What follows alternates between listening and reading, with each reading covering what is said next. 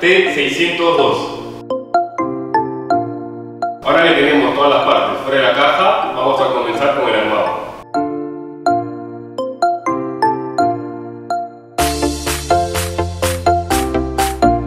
Para continuar con el armado, vamos a levantar la barra A y la barra B y después se va a hacer un ajuste con los pernos, pero no en su totalidad.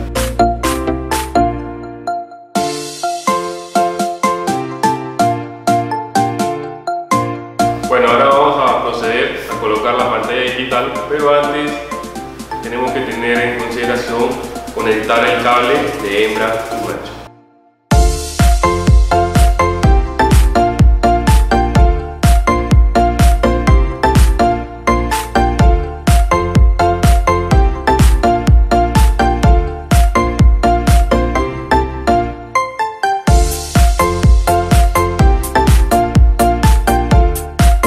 Ahora vamos a instalar los dos manillares, pero siempre hay que tener en cuenta el L y el R para poder instalarlo en sus respectivos sitios.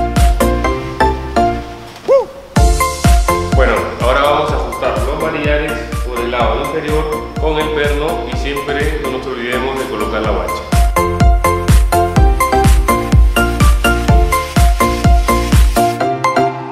Bueno, ya estamos terminando, pero contamos con este accesorio que nos sirve para el celular o tablet. La forma de colocarlo es muy simple, solo tenemos que girarlo.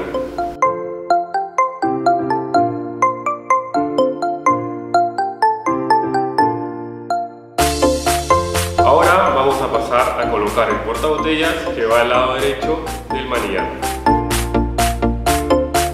Bueno, nos toca colocar los protectores de forma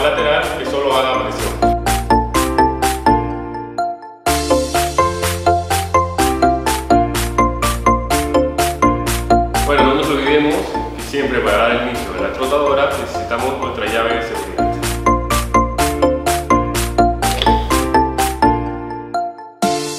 Ahora que la máquina ya está terminada, comenzamos con las características.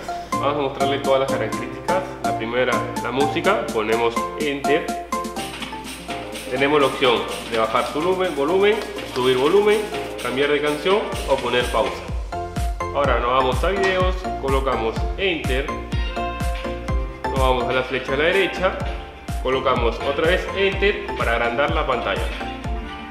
Tenemos un programa HRC que es un programa dedicado al ritmo cardíaco.